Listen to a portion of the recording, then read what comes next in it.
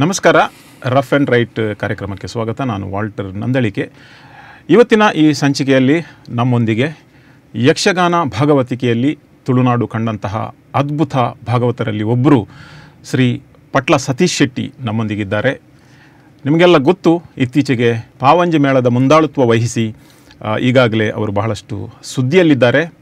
ಬನ್ನಿ, ಅವರೊಂದಿಗೆ ಕೆಲವು ರಫ್ ಕ್ವೆಶ್ಚನ್ಗಳಿಗೆ ಎಷ್ಟು ರೈಟ್ ಉತ್ತರ ಕೊಡ್ತಾರಂತ ಕೇಳೋಣ. ಸರ್ ಕಾರ್ಯಕ್ರಮಕ್ಕೆ ಸ್ವಾಗತ. ನಮಸ್ತೆ. ಮೊದಲಾಗಿ ಅಭಿನಂದನೆಗಳು.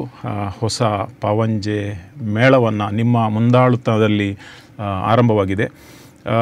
ಆದರೆ ಜನರಲ್ಲಿ ಒಂದು ಪ್ರಶ್ನೆ ಇದೆ. ಎಲ್ಲರಲ್ಲಿ ಅಲ್ಲದಿದ್ದರೂ ಕೆಲವರಲ್ಲಿ ಪ್ರಶ್ನೆ ಇದೆ. ಈ ಪಾವಂಜೆ ಮೇಳ ಕೇವಲ ಹೆಸರಿಗೆ ತಕ್ಕ ಮಾತ್ರ ಬೇರೆಯವರು ನಡೆಸಿಕೊಡುವುದು ಆದರೆ ಇದರ ಎಲ್ಲ ಇನಿಷಿಯೇಟಿವ್ ಏನಿದೆ ಮುಂದಾಳುತನ ಏನಿದೆ ಅದು ಎಲ್ಲ ಶ್ರೀ ಪಟ್ಲ ಸತೀಶ್ ಶೆಟ್ಟರವರದು ಅವರದೇ ಒಂದು ಯೋಚನೆ ಅವರದೇ ಒಂದು ಕನಸಿನ ಕೂಸು ಅಂತ. ಏನು ಹೇಳ್ತೀರಾ? ಅಲ್ಲ ನೀವು ಮೊದಲು ಹೇಳಿದ ಪ್ರಶ್ನೆಗೆ ಉತ್ತರ ಸರಿ ಇದೆ. ಮುಂದಾಳುತ್ವ ನನ್ನದಿ. ಅದರಲ್ಲಿ ಎರಡು ಮಾತಿಲ್ಲ.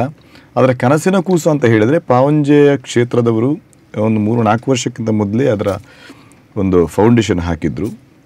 ಅಲ್ಲಿ ಮೇಳ ಆಗಬೇಕಂತ. ಇನ್ನೂರು ವರ್ಷಗಳ ಹಿಂದೆ ಕೂಡ ಅಲ್ಲಿ ಮೇಳ ಇದ್ದ ಇತಿಹಾಸ ಇದೆ. ಬ್ರಿಟಿಷ್ ಅಧಿಕಾರಿಯೊಬ್ಬರು ಆ ಅಲ್ಲಿ ಮೇಳದ ಆಟವನ್ನು ನೋಡಿದ್ದಾರೆ ಎಂಬುದಕ್ಕೆ ಸಾಕ್ಷಿ ಇದೆ. ಓಕೆ ನಿನ್ನೆ ಒಂದು ಪತ್ರದಲ್ಲಿ ಪತ್ರಿಕೆಯಲ್ಲಿ ಬಂದಿತ್ತು. ಹಾಗೆ ಅವರು ಮತ್ತು ನಾವು ಒಟ್ಟ ಒಟ್ಟಾಗುವಾಗ ಈ ಒಂದು ಮಾತುಕತೆ ನಡೀತಾ ಇರುವಾಗ ನಮಗೂ ಒಂದು ಮಾಡುವಂತಾಯಿತು. ಅವರು ಅದಕ್ಕೆ ಒಪ್ಪಿಕೊಂಡ್ರು. ನಾನು ಅದಕ್ಕೆ ಒಪ್ಪಿಕೊಂಡೆ. ಹಾಗೆ ಮುಂದಾಳುತ್ವ ನನ್ನದ ನನ್ನ ಮುಂದಾಳುತ್ವದಲ್ಲಿ ನಡೆಯುತ್ತದೆ ಪಾವಂಜೆ ಪಾ ಮೇಳ ಪಾವಂಜೆ ಕ್ಷೇತ್ರದ ಮೇಳ. ಓಕೆ ಸರ್ ನೋಡಿ ಈಗ ಈ ಕಷ್ಟದ ಕೊರೋನಾ ಸಂಕಷ್ಟದಲ್ಲಿರುವಾಗ ಹಲವಾರು ಮೇಳದವರು ಮೇಳವನ್ನು ಮುಚ್ಚುವಂತಹ ಪರಿಸ್ಥಿತಿಗೆ ಬಂದಿದ್ದಾರೆ.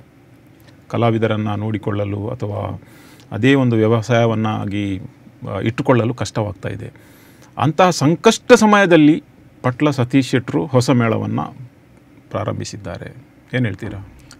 ನಾನು ಅಂಥ ಸಂಕಷ್ಟ ಸಮಯಕ್ಕೆ ಏನಾದರೂ ಒಂದು ಮಾಡಬೇಕೆಂಬುದನ್ನು ತೀರ್ಮಾನ ಮಾಡೋದು. ಎಲ್ಲರೂ ಸಂತೋಷದಲ್ಲಿರುವಾಗ ಮಾಡುವುದಕ್ಕೂ ಕಷ್ಟದಲ್ಲಿರುವಾಗ ಏನಾದರೂ ಸಹಾಯ ಮಾಡುವುದಕ್ಕೆ ವ್ಯತ್ಯಾಸಗಳಿರ್ತದೆ. ಒಂದು ಯಕ್ಷಗಾನ ಕಲೆಯನ್ನು, ಕಲೆಯಿಂದ ಜನರು ಹಿಂದೆ ಸರಿಯುತ್ತಾ ಇರುವಂತಹ ಸಂದರ್ಭ.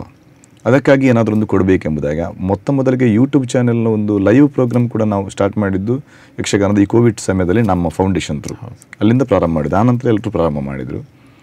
ಅದಕ್ಕೆ ಆ ಜನರು ಹಿಂದೆ ಸರಿಬಾರದು. ಆ ಯಕ್ಷಗಾನದ ಒಂದು ಒಂದು ಗಾಳಿಯಿಂದ ಒಂದು ಪೀಕ್ ಇದಕ್ಕೆ ಹೋಗಿತ್ತು ಯಕ್ಷಗಾನ. ಅದರಿಂದ ಹಿಂದೆ ಬರಬಾರದೆಂಬ ಉದ್ದೇಶದಿಂದ ನಾವು ಅದನ್ನೆಲ್ಲ ಪ್ರಾರಂಭ ಮಾಡಿದ್ದು. ಈಗ ಒಂದು ಒಳ್ಳೆಯ ಯಕ್ಷಗಾನ ಒಂದು ಕಾಲಮಿತಿಯಲ್ಲಿ ಕೊಡುವ ಎಂಬ ಒಂದು ನಿರ್ಧಾರದಲ್ಲಿ ಮತ್ತು ಪಾವಂಜ ಕ್ಷೇತ್ರದ ಆಡಳಿತ ಮಂಡಳಿ ನಮಗೆ ಬೆನ್ನೆಲುಬಾಗಿ ನಿಂತರು, ನಮಗೆ ಹೆಗಲು ಕೊಟ್ಟು ನಿಂತರು ಅದರಿಂದಾಗಿ ನಮಗೆ ಪ್ರಾರಂಭ ಮಾಡಲಿಕ್ಕೆ ಅನುಕೂಲ ಆಯಿತು. ಮಾಡಲೇಬೇಕು ಈ ಸಮಯದಲ್ಲಿ. ಕಲಾವಿದರಿಗೊಂದು ಆಶಯ, ಆಶ್ರಯ ಆಗಬೇಕು, ಮತ್ತು ಕಲಾಭಿಮಾನಿಗಳಿಗೂ ಒಂದು ರಸದ ಉತ್ತಾಣ ಆಗಬೇಕೆಂಬ ಉದ್ದೇಶದಿಂದ. ಹೌದು. ಆದರೆ ತಿರುಗಾಟದ ಸಮಯ ಇನ್ನೂ ಕೂಡ ನಿಗದಿಯಾಗಿಲ್ಲ.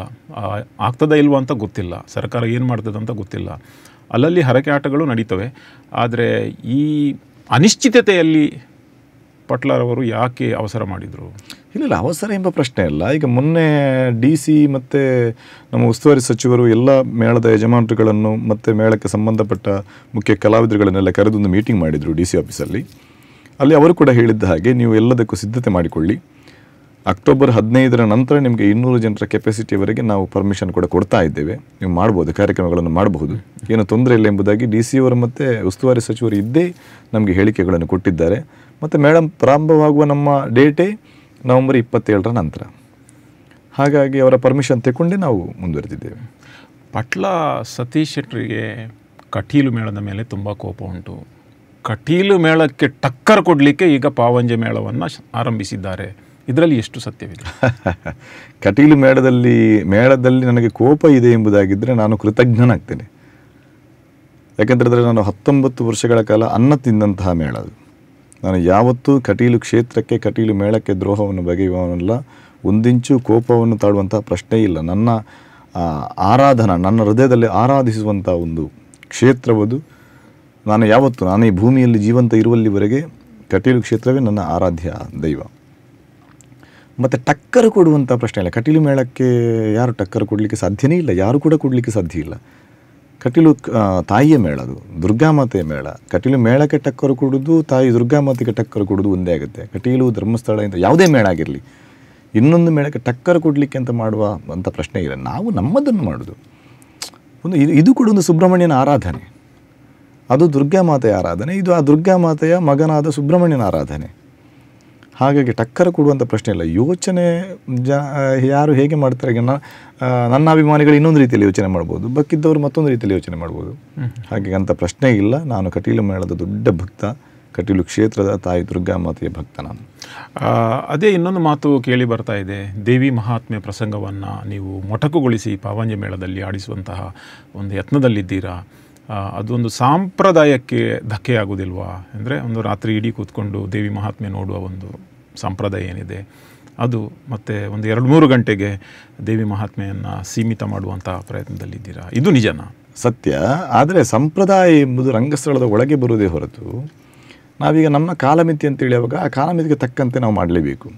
ಸಂಪ್ರದಾಯವನ್ನು ಮುರಿಯುವುದಲ್ಲ, ಅಲ್ಲಿ ಕ್ರಮಗಳನ್ನು, ಪ್ರಸಂಗದ ಕ್ರಮಗಳನ್ನು ಏನೇನು ವಿಕಾರ ಮಾಡಿ ತೋರಿಸುವುದು ಸಂಪ್ರದಾಯಕ್ಕೆ ವಿರುದ್ಧ. ಕಾಲಕ್ಕೆ ತಕ್ಕ ಹಾಗೆ ಕೆಲವು ಪೋರ್ಷನ್ಗಳನ್ನು ಕಟ್ ಮಾಡಿ, ಕೆಲವು ಭಾಗಗಳನ್ನು ಕಟ್ ಮಾಡಿ ಯಾವುದಲ್ಲಿ ನಮಗೆ ನಮಗೆ ಅಗತ್ಯತೆ ಅಂತೇಳಿ ಕಾಣ್ತು ಈಗ ಅಗತ್ಯ ಎಲ್ಲವೂ ಅಗತ್ಯ.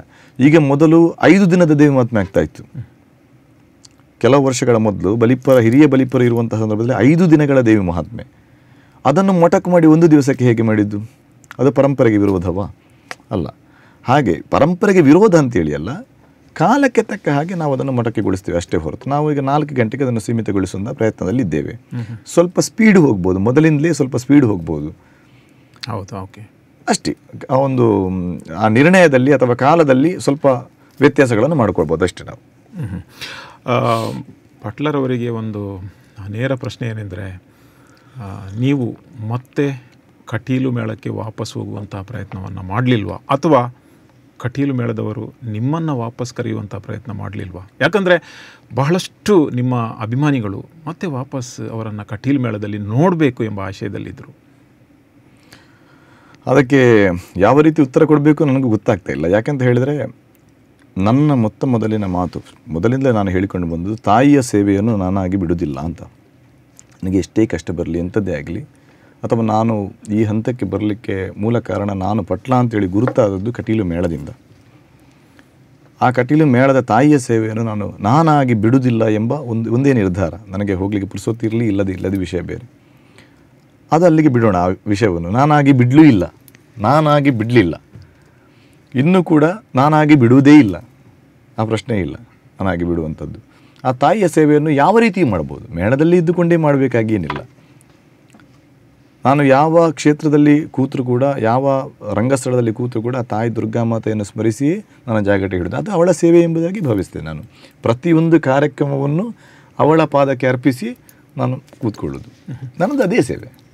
ಓಕೆ ನೀವು ಕಟೀಲು ಮೇಳದಿಂದ ಹೊರಗೆ ಬಂದಾಗ ಒಂದು ಮಾತು ಹೇಳಿದ್ದಿದೆ. ನಾನು ಇನ್ನು ಸ್ವಾತಂತ್ರ್ಯನಾದೆ ಅಂದರೆ ಯಾವ ಮೇಳಕ್ಕೂ ಕೂಡ ಹೋಗ್ಬೋದು.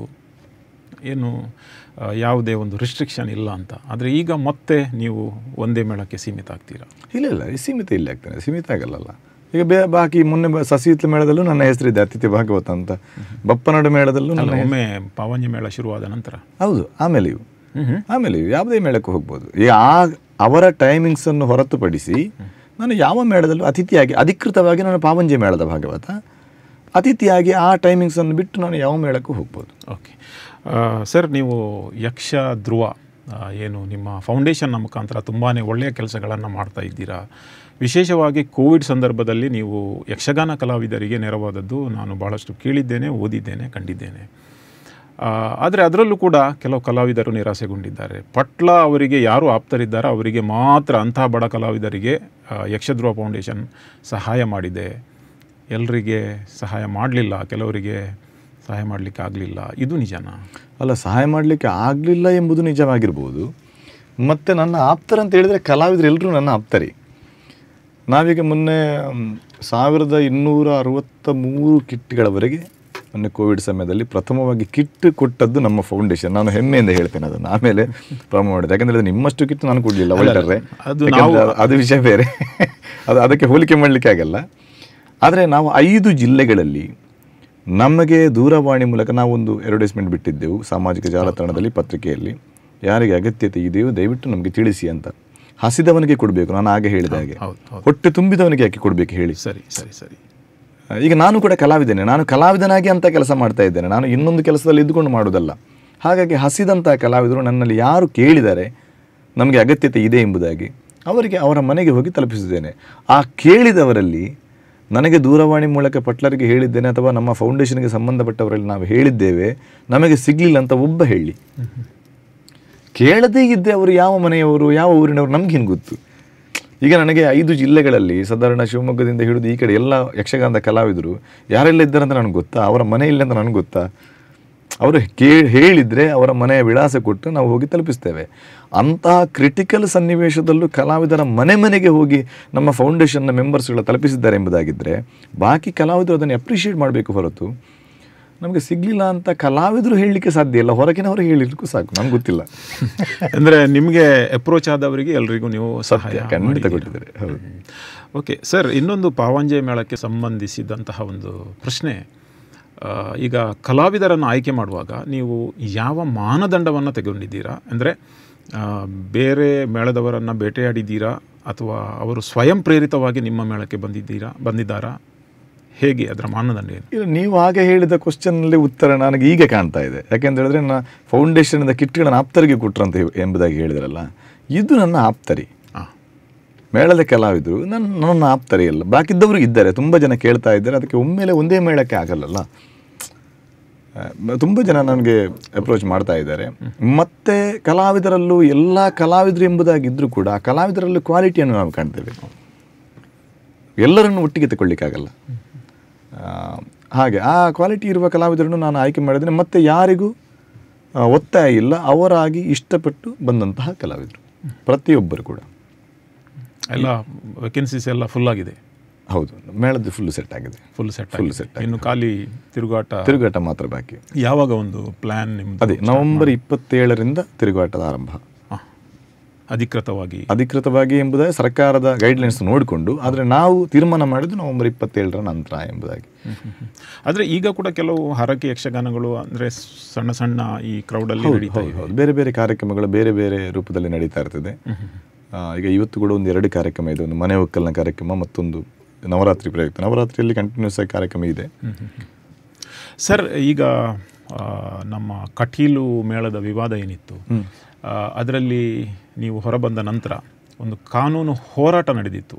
ನೀವು ಬಹುಶಃ ಅದನ್ನು ನೇರವಾಗಿ ಮಾಡಲಿಕ್ಕೆ ಇರಲಿಲ್ಲ ಆದರೆ ನಿಮ್ಮ ಅಭಿಮಾನಿಗಳು ಅಥವಾ ನಿಮ್ಮ ಪರವಾಗಿ ಯಾರು ಮಾಡಿದಿರಬಹುದು ಆ ಕಾನೂನು ಹೋರಾಟದ ಪರಿಸ್ಥಿತಿ ಎಲ್ಲಿವರೆಗೆ ಮುಟ್ಟಿದೆ? ಅಪ್ಡೇಟ್ ಏನಾದರೂ ಇದೆಯಾ? ಇಲ್ಲ ನಾನು ಹೊರಬಂದ ನಂತರ ಅಲ್ಲ ಸರ್ ಅದು. ಎರಡು ಸಾವಿರದ ಹದಿನೇಳರಲ್ಲಿ ಕಾಂಟ್ರವರ್ಸಿಯನ್ನು ಪ್ರಾರಂಭ ಮಾಡಿದರು. ಮೇಳಕ್ಕೆ ಸಂಬಂಧಪಟ್ಟ ಒಬ್ಬ ವ್ಯಕ್ತಿ. ಅಲ್ಲಿಂದ ಪ್ರಾರಂಭವಾದದ್ದು. ಆವಾಗಲೇ ಎರಡು ಸಾವಿರದ ಹದಿನೆಂಟರಲ್ಲೇ ನಾವು ಕೋರ್ಟಿಗೆ ಹೋಗಿದ್ದೆದು ನನ್ನ ತಿರ್ ಇದಾದ್ದು ಮೊನ್ನೆ ಇತ್ತೀಚಿನ ಪ್ರಕರಣ. ಆವತ್ತೇ ನಾನು ಅದನ್ನು ತುಂಬ ಬೇರೆ ಬೇರೆ ರೂಪದಲ್ಲಿ ಕಲಾವಿದರನ್ನು ಮತ್ತು ಅವರನ್ನು ಗೂಡಿಸಿ ಏನಾದರೂ ಒಂದು ಕ್ಷಮಾ ರೂಪದಲ್ಲಿ ಏನಾದರೂ ಕಲಾವಿದರಲ್ಲಿ ತಪ್ಪು ಕಾಣಿಕೆ ಹಾಕಿಸಿ ಅಥವಾ ಏನಾದರೂ ಒಂದು ತಪ್ಪು ಕೇಳಿಸಿ ಹೀಗೆ ಮಾಡೋಣ ಎಂಬುದಾಗಿ ನಾನು ತುಂಬ ಪ್ರಯತ್ನ ಪಟ್ಟೆ. ಯಾಕಂದರೆ ಕಟೀಲು ಮೇಳದಲ್ಲಿ ಅಂತಹ ಪರಿಸ್ಥಿತಿ ಬರಬಾರ್ದು. ಹಾಗೆ ಯಾರಿಗೂ ಯಾವುದೂ ಆಗಬಾರ್ದು ಎಂಬ ಉದ್ದೇಶದಿಂದ. ಯಾಕೋ ತುಂಬ ಗೊಂದಲ ಮಾಡಿಬಿಟ್ರು. ಬಿಡೋಣ. ಅದು ಆ ಅಲ್ಲಿಂದಲೇ ಕೋರ್ಟಿಗೆ ಹೋಗಿದೆ. ಆ ಎರಡು ಮೂರು ವರ್ಷದಿಂದಲೇ ಕೋರ್ಟಲ್ಲಿದೆ. ನನ್ನ ಪ್ರಕರಣ ಯಾವುದು ಕೋರ್ಟಲ್ಲಿಲ್ಲ ನಾನು ಕೋರ್ಟಿಗೆ ಹಾಕಲೂ ಇಲ್ಲ. ಅದು ವಿಷಯ ಬೇರೆ. ಈಗಲೂ ಇನ್ನೂ ನಡೀತಾ ಇದೆ. ಇನ್ನೂ ನಡೀತಾ ಇರ್ಬೋದು. ಹೈಕೋರ್ಟಲ್ಲಿ ಇದೆ ಅದು. ಒಂದು ತಾರ್ಕಿಕ ಅಂತ್ಯಕ್ಕೆ ಏನಾದರೂ ತಾರ್ಕಿಕ ಅಂತ್ಯ ಕಳೆದ ವರ್ಷ ನೋಡಿ ಎಲ್ಲಿವರೆಗೆ ಎಂಬುದಾಗಿದ್ದರೆ ಕಲಾವಿದರಿಗೆ ಅನುಕೂಲವಾಗುವಾಗೆ ತುಂಬ ಇದು ಇದರಲ್ಲಿ ಪ್ಲಸ್ ಪಾಯಿಂಟ್ ಆಯಿತು. ಕಲಾವಿದರು ಕೋರ್ಟಿಗೆ ಹೋಗಿ. ಯಾಕೆಂತ ಹೇಳಿದರೆ ಕಲಾವಿದರಿಗೆ ಎಲ್ಲ ಚೆಕ್ಕಲ್ಲೇ ಪೇಮೆಂಟ್ ಕೊಡಬೇಕೆಂಬುದಾಗಿ ಆಯಿತು. ಅದು ಹೈಕೋರ್ಟ್ ಸೂಚನೆ ಮಾಡಿದ್ದು. ಮೇಳಕ್ಕೆ ಸಪರೇಟ್ ಆದ ಅಕೌಂಟ್ ಮಾಡಬೇಕೆಂಬುದಾಗಿ ಆಯಿತು. ಇದು ಹೈಕೋರ್ಟ್ ಸೂಚನೆ ಮಾಡಿದ್ದು ಈ ಕೇಸಿನಿಂದಾಗಿ. ಮೊದಲು ಏನಿತ್ತು ಎಂಬುದಾಗಿದ್ದರೆ ನಾವು ಮೇಳದಲ್ಲಿ ತಿರುಗಾಟ ಮಾಡ್ತಾ ಇದ್ದೆ ಎಂಬುದಕ್ಕೆ ಯಾವ ಪ್ರೂಫ್ ಇರಲಿಲ್ಲ. ಓಕೆ ಒಂದು ಸಣ್ಣ ಚೀಟಿಯಲ್ಲಿ ಬರೆದು ಕೊಡ್ತಾ ಇದ್ರು. ನಿನಗಿಷ್ಟು ಸಂಬಳ ನೀನಿಷ್ಟು ಅಡ್ವಾನ್ಸ್ ತಗೊಂಡಿದ್ದಿ ಹೀಗೆ ನಿನಗೆ ಅಂತ ಒಂದು ಸಣ್ಣ ಚೀಟಿ. ಒಂದು ಸಾಮಾನ್ಯ ಒಂದು ಗೂಡಂಗಡಿಯಲ್ಲಿ ಚೀಟ್ ಕೊಡ್ತಾರಲ್ಲ ಆ ರೀತಿಯಲ್ಲಿ ಚೀಟ್ ಕೊಡ್ತಾ ಇದ್ರು. ಈಗ ಹಾಗಲ್ಲ ಪ್ರತಿಯೊಂದು ಕೂಡ ಚೆಕ್ ಮುಖಾಂತರ. ಮೇಳಕ್ಕೆ ಒಂದು ಸಪ್ರೇಟ್ ಆದ ಬ್ಯಾಂಕ್ ಅಕೌಂಟ್ ಮಾಡಿ ಆ ಅಕೌಂಟಿಂದ ಪ್ರತಿಯೊಂದು ದುಡ್ಡು ಕೂಡ ಕಲಾವಿದರ ಖಾತೆಗಳಿಗೆ ಹೋಗುತ್ತೆ. ಆವಾಗ ಅದಾದರೂ ಒಂದು ಸಾಕ್ಷಿ ಆಯ್ತು ಅವನಿಗೆ ಒಂದು ಸೈಕಲ್ ತೆಗಿಬೇಕಿದ್ರು ಒಂದು ಬೈಕ್ ತೆಗಿಬೇಕಿದ್ರು ಒಂದು ಲೋನ್ ಮಾಡಬೇಕಿದ್ರೆ ಅವನು ಏನು ಪ್ರೂಫ್ ಕೊಡಲಿ? ಅವ ಎಲ್ಲಿ ಉದ್ಯೋಗ ಮಾಡ್ತಾ ಇದ್ದಾನೆ ಎಂಬುದಾಗಿ ಕೊಡಲಿ? ಸರಿ ಸರಿ ಸರಿ. ಇದಾದ್ರೂ ಒಂದು ಪ್ರೂಫ್ ಆಯಿತು ಅವನ ಬ್ಯಾಂಕಿನಿಂದ ಬಂದದ್ರಿಂದ. ಮತ್ತು ಕಲಾವಿದರಿಗೆ ಬಾಕಿ ವ್ಯವಸ್ಥೆಗಳು ಆಗಬೇಕೆಂಬುದಾಗಿ ತುಂಬ ಕೋರ್ಟು ಅದನ್ನು ಮುತುವರ್ಜಿ ವಹಿಸಿದೆ. ಇದೆಲ್ಲ ಸ್ವಲ್ಪ ಅನುಕೂಲ ಎಂಬುದಾಗಿ ನಾನು ಭಾವಿಸ್ತೇನೆ ಮತ್ತು ಯಾರಿಗೆ ಹೇಗೆ ಇದೇ ಗೊತ್ತಿಲ್ಲ. ಬಟ್ ಯಾವುದಾದರೂ ಯಾರೇ ನಡೆಸಲಿ ಏನೇ ಮಾಡಲಿ ಒಳ್ಳೇದು ಮಾಡಲಿ ಎಂಬುದಾಗಿ ನನ್ನ ಹಾರೈಕೆ ಅಷ್ಟೆ. ಸರ್ ನಿಮಗೆ ಈ ಮೇಳದಿಂದ ಹೊರಬಂದದಕ್ಕೆ ನಿರಾಸೆ ಆಗಿದೆಯಾ? ಅಲ್ಲ ನಿರಾಸೆ ನೋಡಿ ನಾನು ಯಾವುದೇ ಅಪೇಕ್ಷೆ ಪಟ್ಟವನಲ್ಲ. ಮೇಳದಲ್ಲಿ ಯಾವುದೇ ಸಂಬಳಕ್ಕೋಸ್ಕರ ಆಗಲಿ ಸ್ಥಾನಕ್ಕೋಸ್ಕರ ಆಗಲಿ ಅಥವಾ ಇನ್ನಿತರ ಯಾವುದೇ ಬೇಡಿಕೆ ನನ್ನದು ಒಂದೇ ಒಂದು ಬೇಡಿಕೆ ಇರಲಿಲ್ಲ. ನನಗೆ ಕ ಕೇವಲ ನನ್ನ ತಾಯಿಯ ಸೇವೆ ಎಂಬುದಾಗಿ ಅಷ್ಟೇ ಭಾವಿಸಿದ್ದು. ಆವತ್ತು ಒಂದು ಆಡಳಿತ ಮಂಡಳಿ ಕೂತು ಒಂದು ಮೀಟಿಂಗ್ ಮಾಡಿದರು. ನಾನು ಮುಖ್ಯ ಭಾಗವತನಾಗಿದ್ದಂಥ ಸಂದರ್ಭದಲ್ಲಿ ಎಲ್ಲ ಮೇಳದ ಭಾಗವತಗಳನ್ನು ಕರೆದು ಪ್ರತಿಯೊಬ್ಬನು ಮುಖ್ಯ ಭಾಗವತ ಎರಡು ಗಂಟೆ ನಂತರವೇ ಕೂತ್ಕೊಳ್ಬೇಕೆಂಬುದಾಗಿ. ನನ್ನ ಮೇಳದ ಸಂಚಾಲಕರಲ್ಲಿ ಮರುದಿವಸ ಹೋಗಿ ನಾನು ಹೇಳಿದೆ, ಆ ಟೈಮಲ್ಲಿ ನಾನು ಆಡಳಿತ ಮಂಡಳಿ ಮಾಡಿದ್ದಕ್ಕೆ ನಾನು ಮಾತಾಡಲಿಲ್ಲ, ಯಾಕಂತಂದರೆ ಅಲ್ಲಿಂದ ಹೊರಬಂದು ಸಂಚಾಲಕರಲ್ಲಿ ಮಾತಾಡಿದೆ. ನೋಡಿ, ನನಗೆ ಕಷ್ಟ ಆಗುತ್ತೆ. ನನಗೆ ಸ್ವಲ್ಪ ಹೆಲ್ತ್ ಇಶ್ಯೂಸು ಫ್ಯಾಮಿಲಿ ಪ್ರಾಬ್ಲಮ್ ಎರಡು ಗಂಟೆ ನಂತರ ನನಗೆ ಬೆಳಿಗ್ಗೆವರೆಗೆ ಕೂತ್ಕೊಳ್ಳಿಕ್ಕೆ ಸಾಧ್ಯನೇ ಇಲ್ಲ. ಹಾಗಾಗಿ ನನಗೆ ಪ್ರಧಾನ ಸ್ಥಾನ ಬೇಡ, ದಯವಿಟ್ಟು ಕ್ಷಮಿಸಿ. ನಾನು ಬೇರೆ ಏನು ಹೇಳಿ ನನಗೆ ಪ್ರಧಾನ ಸ್ಥಾನ ಬೇಡ ಅಂತಲೇ ಹೇಳಿದ್ದು. ನನಗೆ ಸಂಗೀತದಿಂದ ಎಂಟೂವರೆ ಗಂಟೆಯಿಂದ ನೀವು ಎರಡು ಗಂಟೆವರೆಗೆ, ನೀವು ಯಾವ ಸ್ಥಾನದಲ್ಲಿ ನನ್ನನ್ನು ಕೂತ್ಕೊಳಿಸಿದ್ರೆ ನಾನು ಸಿದ್ಧನಿದ್ದೇನೆ. ನಾನು ನಾನು ಸಂಗೀತಗಾರ, ಇನ್ನೊಂದು, ಅದು ಕೀಳರಿಮೆ, ನನಗೆ ಆ ಕೀಳರಿಮೆ ಇಲ್ಲ. ನನಗೆ ತಾಯಿಯ ಸೇವೆ ಯಾವುದಾದ್ರೇನು ನೀವು ಹೇಳಿ ಟೈಮಿಂಗ್ಸ್ ನೀವು ಕೊಡಿ. ಒಂದು ಅಥವಾ ಎರಡು ಗಂಟೆಗಳ ಕಾಲ ಹೊತ್ತು ನೀವು ಅದರ ಎಡೆಯಲ್ಲಿ ಟೈಮಿಂಗ್ ಕೊಡಿ. ನಾನು ಕೂತ್ಕೊಳ್ತೇನೆ ಅಂತ ಹೇಳಿದ್ದಕ್ಕೆ ಮತ್ತೆ ಅವರು ಡಿಸ್ಕಷನ್ ಮಾಡಿ ನನಗೆ ಹನ್ನೊಂದುವರೆಯಿಂದ ಒಂದು ಗಂಟೆವರೆಗೆ ನೀನು ಕೂತ್ಕೋ ಅಂತೇಳಿ ಅವರೇ ಹೇಳಿದ್ದು. ಅದನ್ನೇ ಕೂತ್ಕೊಂಡಿದ್ದೇನೆ. ಆ- ಟೈಮಿಂಗ್ಸಲ್ಲೇ ಕೂತ್ಕೊಂಡಿದ್ದೇನೆ. ಒಂದು ನಿಮಿಷ ಕೂಡ ನಾನು ಹೆಚ್ಚು ಕಮ್ಮಿ ಮಾಡಲಿಲ್ಲ ಆ ವರ್ಷ. ಹಾಗಾಗಿ ನನಗೆ ನಿರಾಸೆ ತಾಯಿಯ ಸೇವೆಯಿಂದ ವಂಚಿತ ಆದೆ ಅಲ್ಲಿ ಅಲ್ಲಿ ಎಂಬುದು ನಿರಾಸೆ ಹೊರತು, ಬಾಕಿ ಇವರದ, ಬಾಕಿದ್ದನ್ನು ನಾನು ಅಪೇಕ್ಷೆ ಪಟ್ಟವನು ಅಲ್ಲ, ಅಪೇಕ್ಷೆ ಪಡುವುದೂ ಇಲ್ಲ ಯಾವತ್ತು. ನನಗೆ ಆ ತಾಯಿ ದುರ್ಗಾ ಮತ್ತೆ ಬೇರೆ ರೀತಿಯಲ್ಲಿ ಕೊಡ್ತಾರೆ. ನನಗೆ ಇಷ್ಟು ಲಕ್ಷಾನುಗಟ್ಟಲೆ, ಕೋಟ್ಯಾನುಗಟ್ಟಲೆ ನನಗೆ ನನ್ನ ಅಭಿಮಾನಿಗಳನ್ನು ಕೊಟ್ಟಿದ್ದಾರೆ. ನನಗೋಸ್ಕರ ಏನು ಮಾಡಲಿಕ್ಕೂ ಸಿದ್ಧರಿರುವ ಅಭಿಮಾನಿಗಳನ್ನು ಕೊಟ್ಟಿದ್ದಾರೆ. ನನಗೇನು ಬೇಕು ಹೇಳಿ ಅಲ್ಲ, ಈಗ ನಾವು ಪಾವಂಜ ಮೇಳದ ಬಗ್ಗೆ ಮಾತಾಡೋದಾದರೆ ಅದು ರಾತ್ರಿ ಇಡೀ ಇದು ತಿರುಗಾಟ ಅಲ್ಲ ಇಲ್ಲ ಈಗಿನ ಇಷ್ಟರವರೆಗೆ ನಾವು ಅದರ ಒಂದು ಚಿಂತನೆ ಮಾಡಿಲ್ಲ. ಯಾಕಂತ ಹೇಳಿದ್ರೆ ಅದು ಅದೇ ನಾನು ಹಾಗೆ ಹೇಳಿದ್ದಲ್ಲ. ರಾತ್ರಿ ಇಡೀ ಒಂದು ಮಾಡಿದ್ರೆ ಪ್ರತಿಯೊಬ್ರು ಕೆಲವು ಅದನ್ನೇ ಕೇಳ್ತಾರೆ. ಆವಾಗ ನನಗೆ ಒಂದಕ್ಕೆ ಸೀಮಿತ ಆಗ್ತೀರಾ ಒಂದಕ್ಕೆ ಸೀಮಿತ ಆಗ್ತಾನೆ ಒಂದು. ಮತ್ತೆ ನಾನು ಅಲ್ಲಿ ಹೇಳಿದ್ದಕ್ಕೆ ನಾನು ತದ್ವಿರುದ್ಧ ನಾನೇ ಆಗ್ತೇನೆ. ಯಾಕಂತ ಹೇಳಿದ್ರೆ ನನ್ನ ಕಟೀಲು ಮೇಳದಲ್ಲಿ ಕೂಡ ನನ್ನದು ಇದ್ದದ್ದು ನನಗೆ ಆಗುದಿಲ್ಲ. ಎರಡು ಗಂಟೆ ನಂತರ ನನ್ನ ಹೆಲ್ತ್ ಇಶ್ಯೂಸ್ ಒಂದೊಂದು ದಿವಸ ಲೆಕ್ಕ ಬೇರೆ. ಅಪರೂಪ. ಒಂದೊಂದು ದಿವಸ ಲೆಕ್ಕ ಬೇರೆ. ಡೈಲಿ ಆಗುವಾಗ ನಮಗೆ ಅದು ಸಾಧ್ಯ ಇಲ್ಲ. ನಿದ್ದೆ ಕೆಳಗೆ. ಹಗಲು ನಮ್ಮ ಡ್ಯೂಟಿಯಲ್ಲಿ ಇರ್ತೇವೆ, ರಾತ್ರಿ ಡ್ಯೂಟಿಯಲ್ಲಿ ಇರ್ತೇವೆ ಅಂತೇಳಿ ಆಗುವಾಗ. ಅದು ಇದಕ್ಕೆ ತದ್ವಿರುದ್ಧ ಆಗುತ್ತೆ. ಮತ್ತು ಆ ಮೇ, ಈಗ ಪಾವಂಜೆ ಆಡಳಿತ ಕಮಿಟಿಯವರು ಕೂಡ ಅವರಿಗೂ ಇಷ್ಟ ಇದೆ ಕಾಲಮಿತಿ. ಅದು ನನಗೆ ಪೂರಕವಾಗಿ ಬಂತು. ಸರಿ ಸರ್, ನೀವು ರಫ್ ಕ್ವೆಶ್ಚನಿಗೆ ಭಾಳಷ್ಟು ರೈಟ್ ಆನ್ಸರನ್ನು ಕೊಡುವ ಪ್ರಯತ್ನವನ್ನು ಮಾಡಿದ್ದೀರಾ? ಈಗ ನೋಡಿ, ನೀವು ನಿಮ್ಮ ಅಭಿಮಾನಿಗಳು ಕೇವಲ ಇಲ್ಲಿ ಮಾತ್ರ ಅಲ್ಲ, ತುಳುನಾಡಲ್ಲಿ ಮಾತ್ರ ಅಲ್ಲ. ವರ್ಚುವಲ್ ಅಂದರೆ ವರ್ಚುವಲ್ ವರ್ಲ್ಡಲ್ಲಿ ಕೂಡ ಫೇಸ್ಬುಕ್ ಇರಲಿ ಯೂಟ್ಯೂಬ್ ಇರಲಿ ಬೇರೆ ಬೇರೆ ಸೋಷಿಯಲ್ ಮೀಡಿಯಾದಲ್ಲಿ ಕೂಡ ಇದ್ದಾರೆ. ಈ ಒಂದು ಯಕ್ಷಗಾನದ ಪ್ರಕಾರ ಈ ಒಂದು ಯಕ್ಷಗಾನದ ಕಲೆ ಹಿಂದಿ ಹಿಂದಿನದಕ್ಕಿಂತಲೂ ಹೆಚ್ಚಾಗಿ ಜನಪ್ರಿಯವಾಗಿದೆ ಎಂಬ ಭಾವನೆ ನಿಮಗಿಲ್ವಾ ಈಗ? ಹೆಚ್ಚು ಯುವಕರು ಅದರಲ್ಲಿ ಕೂಡ ಹೆಚ್ಚು ಹೆಣ್ಣುಮಕ್ಕಳು ಈ ಯಕ್ಷಗಾನಕ್ಕೆ ಬರ್ತಾ ಇದ್ದಾರೆ. ಏನನಿಸುತ್ತೆ ಅಲ್ಲ ನಮ್ಮ ಈಗಿನ ಮಟ್ಟಿಗೆ ನೋಡಿದರೆ ತುಂಬ ಜಾಸ್ತಿ ಆಗಿದೆ ಹೌದು ನೀವು ಹೇಳಿದ ಹಾಗೆ ಆದರೆ ಒಂದು ಇಪ್ಪತ್ತು ಇಪ್ಪತ್ತೈದು ವರ್ಷ ಮುಂಚೆ ನಾವು ಕೆಲವು ಕಥೆಗಳನ್ನು ಕೇಳುವಾಗ ನಾವು ನೋಡಿರಲಿಲ್ಲಲ್ಲ? ಮುಂದೆ ಮೊದಲನೇ ಹಿರಿಯವರು ಹೇಳುವಾಗ ಅದಕ್ಕಿಂತಲೂ ಜಾಸ್ತಿ ಇತ್ತು. ಅಂದರೆ ಸಾವಿರಾರು ಗಟ್ಟಲೆ ಒಂದು ಆಟಕ್ಕೆ ಒಂದು ಆಟ ಒಂದು ಗ್ರಾಮದಲ್ಲಿ ಆಗ್ತದೆ ಎಂಬುದಾಗಿ ಒಂದು ನಾಲ್ಕೈದು ಗ್ರಾಮದ ಜನ ಒಟ್ಟಾಗಿ ಬರೋದು ಚಾಪೆಯನ್ನೆಲ್ಲ ಹಿಡ್ಕೊಂಡು ಇಂಥದ್ದೆಲ್ಲ ಇತ್ತಂತೆ. ನಾವು ಆ ಆ ಸೀನನ್ನು ನಾವು ನೋಡಲಿಲ್ಲ. ಅದಕ್ಕೆ ಕಾರಣ ಅಂತ ಹೇಳಿದ್ರೆ ಮೊದಲು ಏನು ಇರಲಿಲ್ಲ. ಎಂಟರ್ಟೈನ್ಮೆಂಟ್ಗೆ ಟಿ ವಿ ಆಗಲಿ ರೇಡಿಯೋ ಮಾಧ್ಯಮ ಯಾವುದು ಇರಲಿಲ್ಲ. ಈಗ ಈ ಯುಗದಲ್ಲೂ ಕೂಡ ಒಂದು ಸಣ್ಣ ತಪ್ಪಾದರೂ ಕೂಡ ಸಾಮಾಜಿಕ ಜಾಲತಾಣದಲ್ಲಿ ಹಡಿದಾಡುವಂಥ ಒಂದು ಈ ಸಂದರ್ಭದಲ್ಲಿ ಕೂಡ ಈ ಕಲೆಯನ್ನು ಇಷ್ಟು ಪ್ರೀತಿಸುವುದು ಇದು ನೀವು ಹೇಳಿದಾಗೆ ಗ್ರೇಟ್. ಒಂದು ಹೆಣ್ಮಕ್ಕಳಿಂದ ಆಗಲಿ ಯಂಗ್ ಜನ್ರೇಷನ್ ತುಂಬ ಪ್ರೀತಿಸ್ತಾ ಇದೆ. ಹೈಸ್ಕೂಲ್ ಕಾಲೇಜಿಂದ ಹಿಡಿದು ಯಕ್ಷಗಾನ ಅಂತ ಹೇಳಿದ್ರೆ ಪಂಚಪ್ರಾಣ ಅವರಿಗೆ. ಕಾರ್ಯಕ್ರಮದ ಕೊನೆಯಲ್ಲಿ ನೀವು ಯಕ್ಷಪ್ರಿಯರಿಗೆ ಯಾವ ಒಂದು ಸಂದೇಶವನ್ನು ನೀಡಲಿಕ್ಕೆ ಬಯಸ್ತೀರಾ? ಇಲ್ಲ ಯಕ್ಷಗಾನ ಒಂದು ಒಳ್ಳೆಯ ಕಲೆ. ಎಲ್ಲ ಸಂಸ್ಕಾರ ಸಂಸ್ಕೃತಿಯನ್ನು ಬಿಂಬಿಸುವಂತಹ ಒಂದು ಕಲೆ. ನಮ್ಮ ಕರಾವಳಿಯ ಗಂಡುಮೆಟ್ಟಿನ ಕಲೆ. ಇದನ್ನು ವಿಶ್ವದಾದ್ಯಂತ ಪಸರಿಸುವಂತಹ ಕಲೆ ಉಳಿದು ಉಳಿಯುತ್ತದೆ ಉಳಿಯುತ್ತದೆ. ಯಾರು ಇದ್ದರೂ ಉಳಿಯುತ್ತದೆ, ಯಾರು ಇಲ್ಲದಿದ್ದರೂ ಉಳಿಯುತ್ತದೆ. ಕಲೆಗೆ ಯಾರು ಅನಿವಾರ್ಯರಲ್ಲ.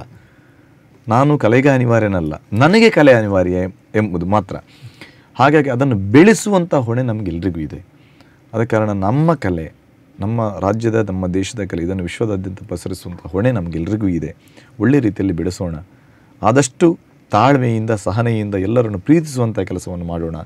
ನಮ್ಮ ಒಂದು ಒಂದು ಇಗು ಅಥವಾ ಸ್ವಾರ್ಥ ಎಂಬುದಾಗಿದೆಯಲ್ಲ ಅದನ್ನು ಬದಿಗಿಟ್ಟು, ಬೇರೆ ಬದಿಯಲ್ಲಿರುವಂಥ ಹಿರಿಯ ಕಲಾವಿದರನ್ನು ಅಥವಾ ನಮಗಿಂತ ಸಣ್ಣ ಕಲಾವಿದರನ್ನು, ಹಿರಿಯ ಕಲಾವಿದರನ್ನು ಗೌರವಿಸುವಂತಹ, ಸಣ್ಣ ಕಲಾವಿದರನ್ನು ಪ್ರೋತ್ಸಾಹಿಸುವಂಥ ಕೆಲಸವನ್ನು ನಾವು ಮಾಡೋಣ ಎಂಬುದಾಗಿ ನನ್ನ ಪ್ರಾರ್ಥನೆ. ಸರ್ ನಿಮ್ಮ ಸಮಯಕ್ಕೆ ಧನ್ಯವಾದಗಳು. ಕೆಲವು ಜನರ ಪ್ರಶ್ನೆಗಳಿಗೆ ನೀವು ಉತ್ತರ ನೀಡಿದ್ದೀರಿ. ಮುಂದಿನ ನಿಮ್ಮ ಕಲಾ ಜೀವನಕ್ಕೆ ಹಾಗೇನೆ ನಿಮ್ಮ ಪಾವಂಜೆ ಮೇಳದ ಏನು ಹೊಸ ಇನಿಷಿಯೇಟಿವ್ ಏನಿದೆ ಇದಕ್ಕೆ ನಾವು ಯಶಸ್ಸನ್ನು ಕೊಡ್ತಾ ಇದ್ದೇವೆ. ಧನ್ಯವಾದ. Thank you thank you sir ಆತ್ಮೀಯ ವೀಕ್ಷಕರೇ ಇದು ಈ ಹೊತ್ತಿನ ರಫ್ ಆ್ಯಂಡ್ ರೈಟ್ ಮತ್ತೆ ಇನ್ನೊಮ್ಮೆ ಇನ್ನೊಬ್ಬ ಅತಿಥಿಯೊಂದಿಗೆ ನಮ್ಮ ನಿಮ್ಮ ಭೇಟಿಯಾಗಲಿದೆ. ನೋಡ್ತಾ ಇರಿ ದೈಜಿವಲ್ ಟ್ವೆಂಟಿ ಫೋರ್ ಸೆವೆನ್ ನಮಸ್ಕಾರ.